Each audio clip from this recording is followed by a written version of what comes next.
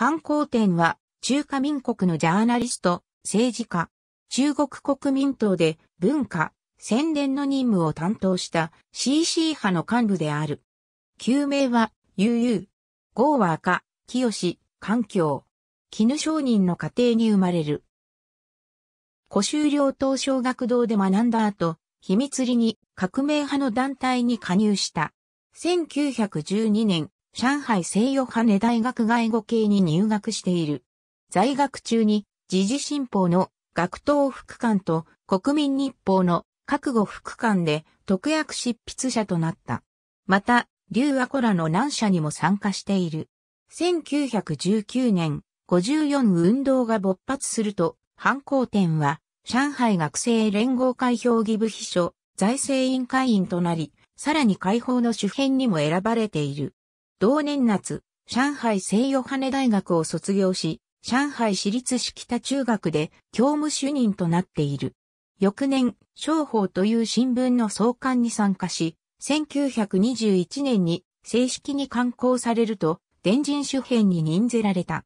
この時、陳布神成と同僚になって共に働き、二人とも文章で高い評価を得ている。1927年1月、陳カの紹介により、反抗店と陳布神成は南省で小解析と面会し、合わせて中国国民党にも加入した。この時、陳は小解析の秘書として南省に泊まったが、藩は上海へ一旦戻り、新報主編を務めている。同年4月、省が上海クーデターを発動し、上海に政治分会が成立すると、藩は分会委員となった。5月、上海市党部常務委員となり、新党に従事している。6月、上海市特別市政府が成立すると、藩は交渉局局長に任ぜられ、さらに社会局局長兼市政府秘書長になった。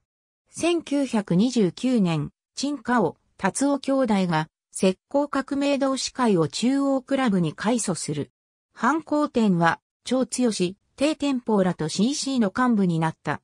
1932年6月、上海に CC 派の機関紙に相当する明日法を創刊し、その社長となる。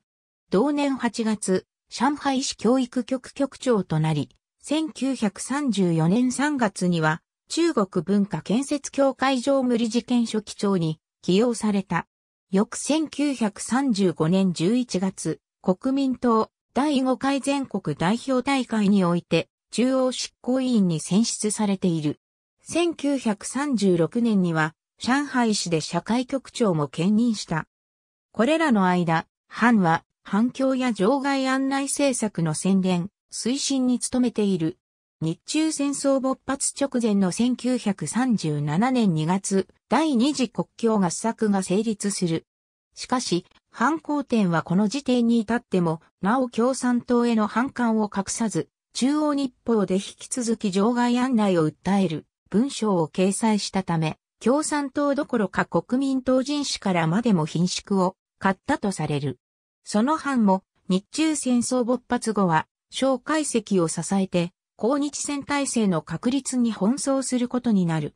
11月、上海から武漢に逃れ、国民政府軍事委員会参事室参事に任ぜられた。翌年3月には国民党中央宣伝部の機関紙発行部門である独立出版社の経理となる。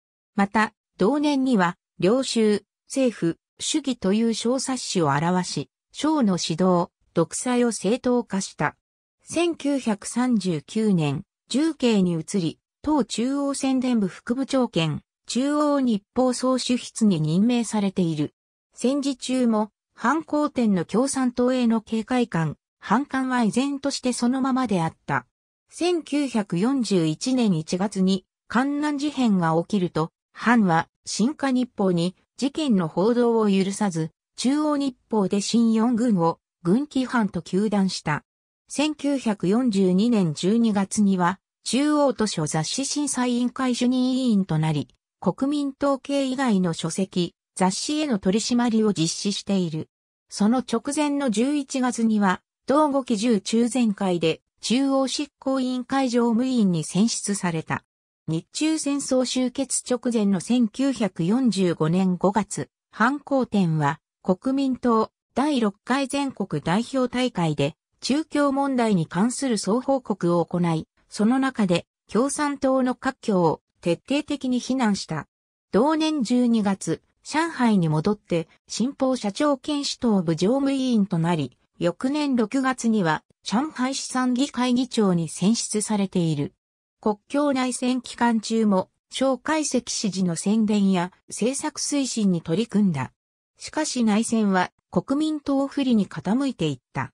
1949年2月、反抗点は共産党との和平交渉に反対の意思表示をしたが、同年5月に上海は陥落。その直前に香港へ逃亡した。同年末にはカナダへ亡命し、1950年、アメリカに移っている。以後、陳達夫らとカビ日報を創刊し、引き続き反響の言論を展開した。